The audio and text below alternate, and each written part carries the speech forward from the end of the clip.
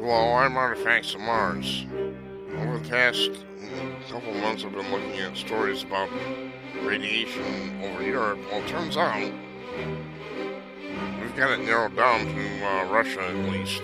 Uh, the Russians are denying this. They're denying that they know what source is. Typical. Russian authorities on Tuesday confirmed reports of a spike in radioactivity in the air over the Ural Mountains.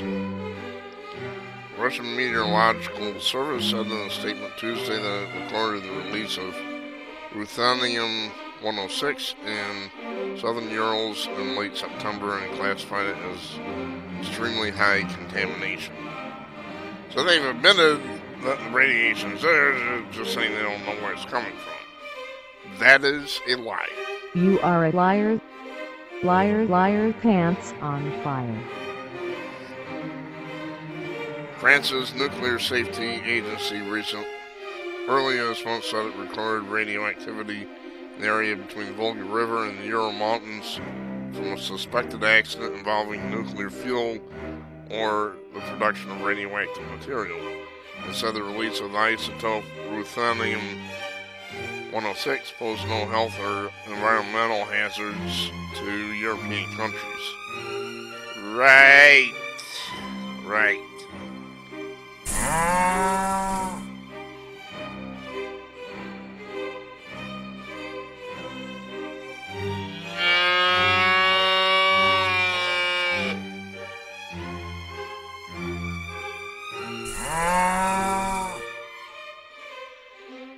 Like I'm going to believe that. At the time, Russia state controlled Rosatom Corporation said in a statement that there had been no radiation leak from its facilities. That is a lie. You are a liar. Liar, liar, pants on fire.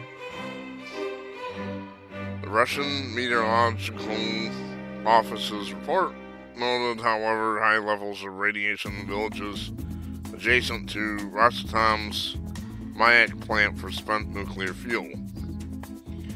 Mayak said in a statement Tuesday night being the source of the contamination. The plant said it has not conducted any work on extracting ruthenium 106 from spent nuclear fuel for several years.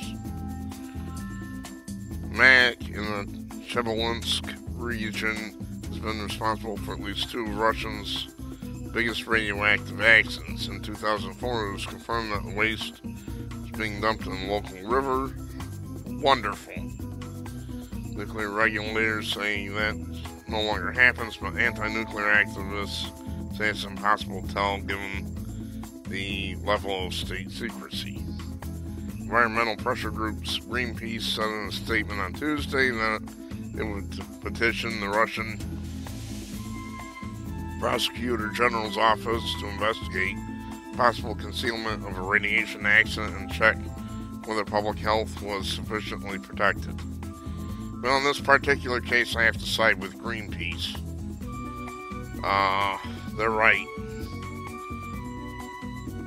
I wouldn't normally agree with them, but hey, sometimes you gotta make some compromises on some things.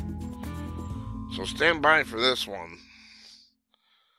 This could be trouble. I love it when the French say there's no danger to the public.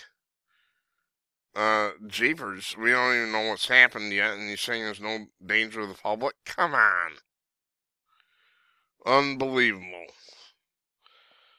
I'm Artifacts of Mars. Thanks for watching.